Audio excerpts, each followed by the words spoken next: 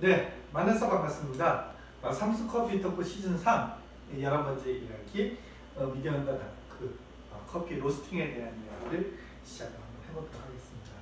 음, 목차는 이제 로스팅 프로세스 레벨 그리고 에이징에 따른 어떤 변화라든가 그다음에 어, 미디엄하고 다크로 구성되어 있는데요. 음, 첫 번째 이제 로스팅 프로세스. 네. 로스팅 프로세서라는 거는 그 로스팅이라는 거는 우리가 이제 커피 콩을 굽는 과정인데요. 이 굽는 과정을 각 어떤 프로세서 단계별로 나눠 보면은 어, 크게 이제 한 둘, 셋, 넷, 그 일곱 개의 단계를 알 수 있고 맨 처음에 초기 반응부터 어, 4에서 10분, 그 전체 한 20분 정도. 어, 이거는 이제 그 대략적으로 이제 드럼 로스팅에 관련된 내용이고 어, 우리가 이제 열풍 로스팅 같은 경우에 이것도 이제 시간이 짧아질 수는 있습니다. 이제 대략적으로 어떤 이렇게 구성 로스팅 프로세스가 어떻게 구성되는지 알면은 로스팅에 대해서 이해하기 좀 쉬울 것 같아갖고 어, 맨 처음에 이제 초기 변화.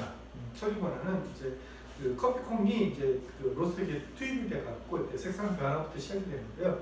음, 첫 번째 이제 그 녹색 콩이 이제 노란색 혹은 황금색으로 이제 음, 변하게 됩니다. 그러면서 이제 갈변 반응이 맨 처음에 이제 시작이 되는데 어떤 약간 어떤 달콤한 어떤 캐러멜 향이 발생을 하고 있면서요.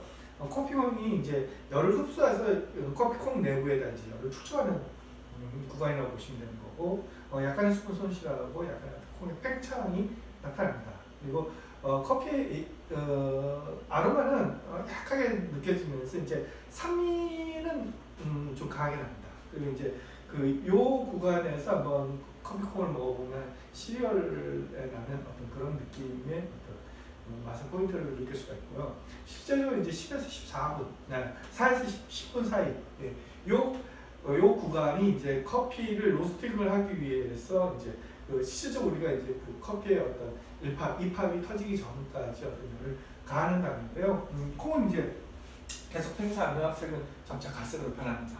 그리고 복잡한 이제 방향적 어떤 향들이 발생을 하고 어, 이 구, 구간에서 만약에 콩이 이제 얼룩덜룩한 경우가 있어요. 예. 만약에 그 내부 창을 와갖고 봤을 적에 콩이 이제 골고루 짙어지지 않고 얼룩덜룩한 현상이 나타난다면은 어, 내부에 로스 내부의 열이 너무 높은 거라고 보시면 됩니다. 그리고 반면에 이 구간에 이제 그 충분한 열이 공급이 안 되면은 어, 로스팅은 뭐 로스팅 그 과정은 중단이 됩니다. 네. 그리고 이제 콩 전체에 어떤 갈변 반응이 발생을 하면서 그 내부에 이제 열에 의해서 콩 내부에 있는 수분의 어떤 어, 열이 먹으면서 이제 수증기에 의해 아, 압력이 꽉 차게 됩니다. 그래서 이 압력에 의해서 1차 팝이 어, 나타나는 거예요. 예, 9에서 11분이 이제 그 1팝이라 그래갖고 팝콘 터치는 소리가 나요.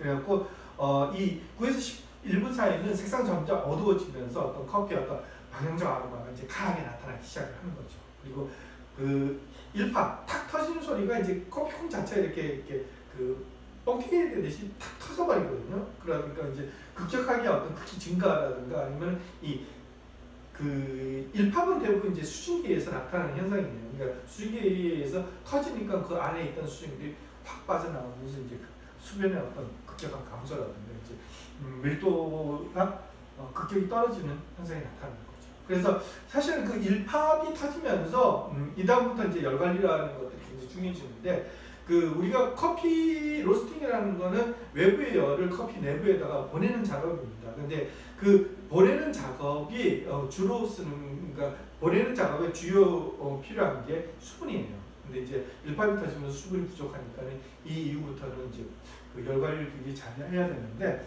어 일팝이 터지면서 콩은 이제 탄력을 잃습니다. 그러니까 콩 자체가 이렇게 만져보면은 약간 어 음, flex bendable 하죠. 꺾일 수가 있는데 이 이후부터는 이제 커피콩이 굉장히 그 부서지기 쉬운 형태가 됩니다.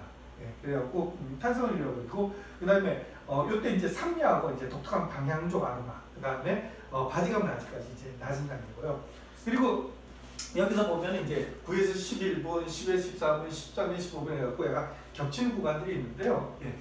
어, 카라멜하고 10에서 14분 이제 카라멜하고 갈변 반응에 의해서 어, 더 색은 짙어집니다. 그리고 로스팅에 의한 어떤 특정 커피 향이 발생되는데요. 우리가 이제 커피 향이라고 그러면은 음, 우리가 그 먹는 커피 향은 크게 두 가지로 나눌 수 있습니다.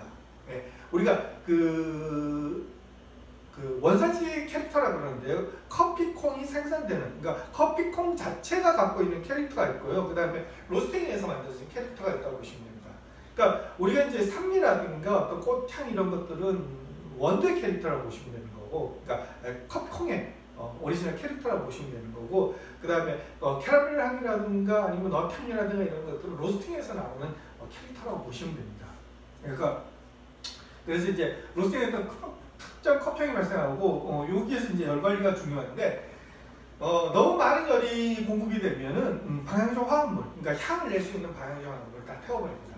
그래서 향 자체가 죽어버리는 문제가 있고요. 그렇다고 너무 여, 열이 적게 공급이 된다면은 음, 로스팅이 중단이 됩니다.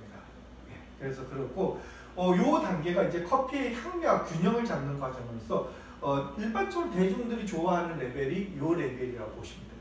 예, 그리고 이제 신화의 15분 같은 경우는 입학 사운드. 입학 같은 경우에는 어, 내부에 있는 이제 수분은 아니고 이제 어, CO2, 예, 이산화탄소에서부터 나는데 입밥에 비해서 입밥 사운드는 굉장히 약합니다. 예. 아, 입밥이 진짜 파고들잖아요. 탁탁탁탁 소리가 들리는 거 봐요. 입밥 같은 경우에는 톡톡톡톡톡 하면서 아주 약하게 짜글짜글 어떨 때는 보면 이제 짜글하는 소리가 들리는 경우도 있는데요. 그렇게 느껴지는데 색상이 이제 그 약간 푸른색을 띠는 갈색으로 변하면서 콩 표면에 예, 원두 표면에 오일이 비치기 시작합니다.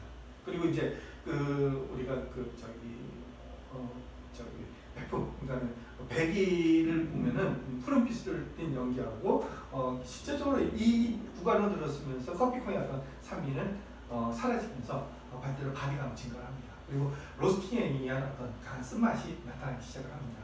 14에서 16분 정도는 어, 콩의 표면은 기름으로 반짝이고서 이제 강한 연기가 발생해요.